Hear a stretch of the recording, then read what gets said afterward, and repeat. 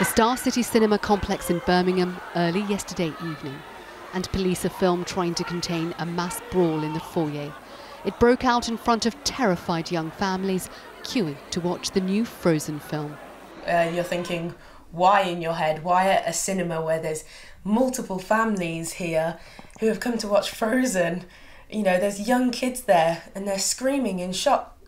Police were called to the cinema after reports of youngsters with machetes. Seven officers were injured trying to break up the fighting. A group of youths at the cinema, one carrying what appears to be a machete, were also caught on camera. Six teenagers have been arrested, five released on bail tonight. We found a number of knives and some machetes that had been dropped as we started to disperse that, that crowd.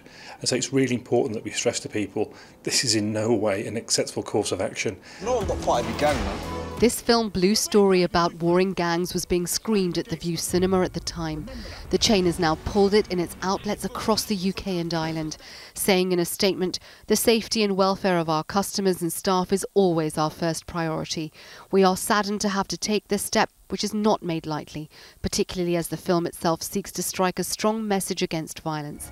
And I ain't trying to justify, but I'm gonna show you what these young boys are fighting for. Its director Rapman expressed his disappointment in a tweet this evening, saying, It's truly unfortunate that a small group of people can ruin things for everybody. Blue Story is a film about love, not violence. And police said tonight there could yet be further arrests. Sejal Karia, ITV News.